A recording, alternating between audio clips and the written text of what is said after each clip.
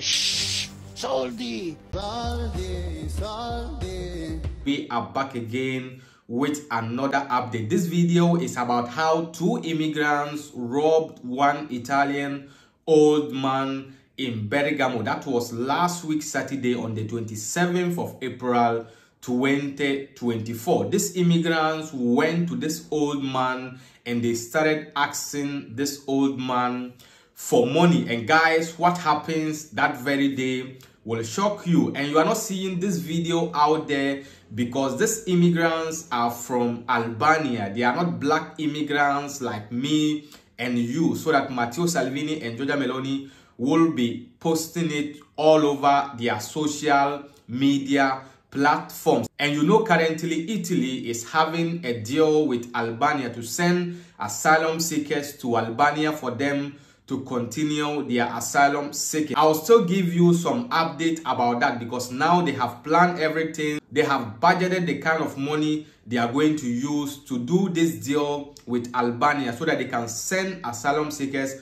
to Albania like what the UK is doing currently. You know currently the UK is sending immigrants or asylum seekers to Rwanda for them to continue their asylum seeking over there. This is how the incident happens. As I said before, these immigrants are from Albania. So last week, Saturday night, that was on the 27th of April 2024, they went to this old man house and this man is a retired Guardia di Finanza. So they went there and they started asking this man for money, soldi, soldi. So this man was having a bag in his room and there was 500 euros inside the bag so these guys took the 500 euros and they were still asking the man for more money. So the man asked them do you need more money? They said yes they need more money. The man raised his pillow he took his pistol and he gave a warning shoot on the ceiling and some of the bullet touched one of the guy's neck and currently they are investigating this man. But if it was african immigrant you would have seen it all over the italian media. But because these people are from albania no one is talking about this thing because italy is having a deal with albania. And you're not seeing matteo salvini and giorgia meloni posting this kind of things. And guys please if you have not yet download tap tap send tap tap send is application that allow us to send money back to africa direct without paying any sending fee or any commission. You can download tap tap send on google play or app store. Register in your first transfer if you use my promo code. Instantly you are getting additional 5 euro bonus. Guys the app is very simple and very easy and it is not a scam. You will not send money and they will tell you that network is not good you have to wait if you just send the money immediately your person will receive the money in Africa without any problem. Now let's watch the video when we are back we give you the rest of the update. So stay tuned. E soldi. Domenico Scarcella, 85 anni, non riesce a cancellare dalla sua mente la rapina subita sabato sera nella sua villetta a Bergamo. Sono da poco passate le 21, Mimmo, come qui lo chiamano tutti, è a letto. Mi sono addormentato perché ero stanchissimo. Prima di addormentarmi avevo spento la luce ed era buio pesto. Mi hanno svegliato, mi hanno buttato giù dal letto. Quando mi hanno preso hanno incominciato a dire soldi, soldi, soldi. I due malviventi, con il volto coperto e un piede di porco in mano, lo svegliano, lo strattonano, vogliono soldi.